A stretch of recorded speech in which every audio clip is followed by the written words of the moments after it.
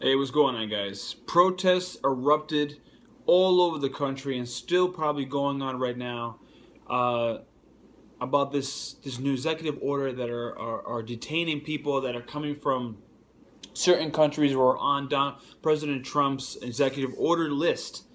And a lot of these people that were detained had green cards, had their visas, had the proper pa paperwork, but due to this extreme vetting, they are they weren't allowed to get directly into the country. They had to be held for more questioning, uh, and I don't know the the nature of the questions, but they were held hours upon hours upon hours, and the protesters got together so quickly.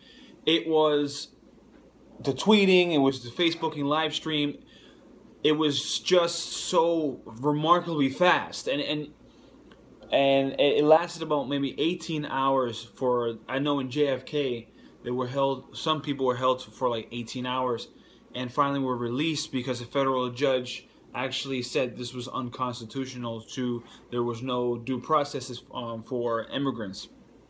Uh my uh New York uh, New York cabbies were doing an hour strike. And Uber actually got a lot of backlash. A lot of people were deleting their accounts because Uber was basically scabbing.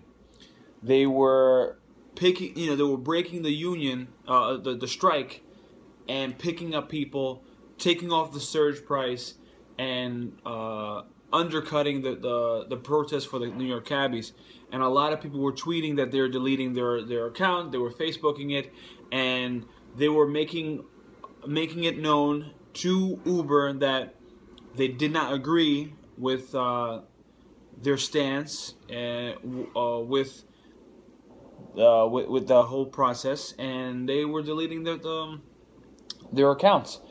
My thoughts are: I understand people are afraid this all, this is all driven by fear.